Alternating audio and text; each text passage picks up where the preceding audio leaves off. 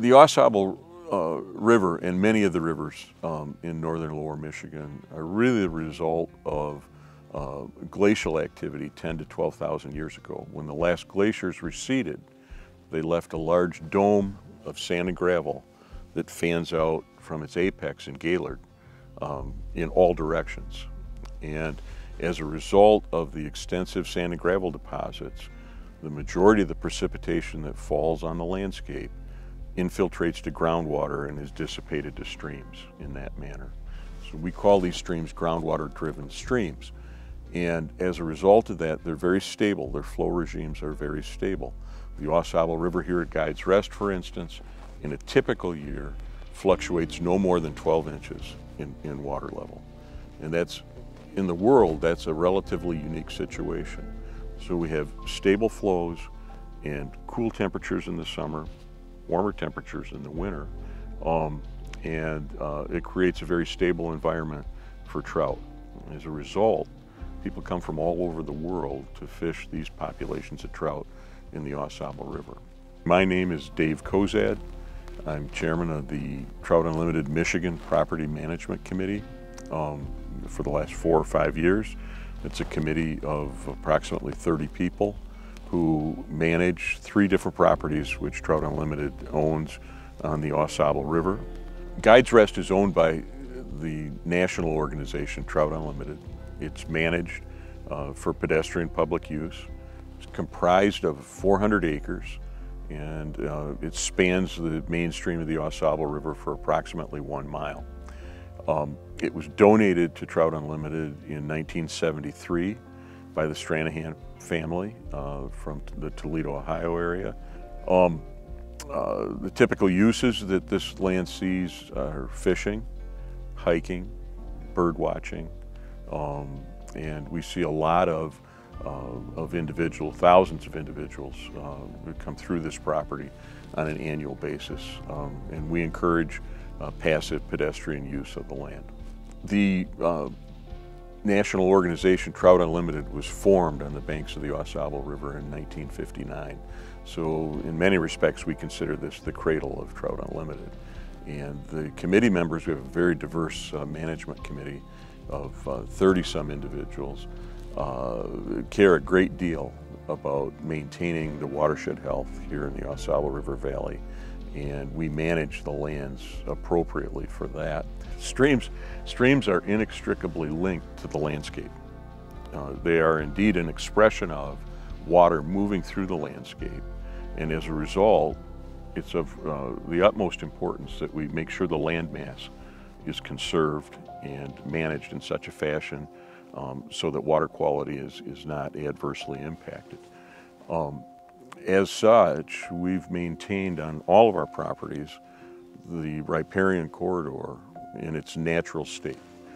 For instance, when we, when we conduct a selective harvest or even a, a wholesale jack pine harvest, as we did on this property in 1996, we leave more than ample buffer strips along the river so that, that water quality and habitat are not adversely impacted. And one of the key priorities is to make sure that large mature trees are allowed to fall into the river um, and provide substrate for uh, you know, algae, diatoms, aquatic insects, and habitat uh, for trout. In, in developing our forest management plans and updating them, we have uh, utilized a diverse group of professionals. We received grants from the Natural Resources Conservation Service uh, to develop forest plans, to update them, and then we received grants from them as well to implement uh, the recommendations found in those in those plans. Um, we've also we have representatives from the Michigan DNR, both Fisheries Division and Forest Management Division, who sit on the committee. Um, so we receive their input on an ongoing basis and integrate that into our thought process and the decisions we make in terms of how we manage the property. By and large, um, again, the river is, is the most important aspect in the end on the property. And so we want to make sure that anything we do um, on the land is well thought out and prudent um, in, in advance. Again, having a very diverse uh, membership in our committee uh, helps assure that. The, the maintenance of the riparian corridor by not allowing use to impact uh, uh, those reaches results in the mature trees that, that you see right here at, the edge of the stream at Guides Rest. Um, we've done the same thing throughout, um, you know, with the other two properties. One of the real benefits from uh, maintaining the integrity of the riparian zone is that trees will fall into the river. And as I'd indicated before, that's a very positive thing for a variety of reasons, both channel morphometry, um, as well as, you know, maintaining uh, healthy populations of aquatic insects and, and trout. The challenge is that it takes, in this area, somewhere between 50 and 100 years for a tree to mature and fall into the river on average. That's a long period of time. Um, we, uh, but we make sure that when those trees fall in, that they, they get arranged in such a manner that they're not causing a problem with navigation, um, but that the wood is, is, is being productively integrated into the stream channel. Um, again, uh, it takes some patience and um, and some due diligence, but uh, you know we're very focused on on maintaining the riparian zone, and one of the positive outcomes of that is the introduction, the ongoing introduction of of wood into the stream channel. Anytime uh, that, that we as resource managers can help Mother Nature move in the direction that she wants to move in, work with Mother Nature, we're better off. If we can, if we can allow wood to accrue to streams from the riparian zone on its own, that's the most cost-effective way of putting wood in. Um, it's not always the fastest, but it, but it is the most cost-effective. Anytime that, that humans do the introduction, the cost is substantially higher.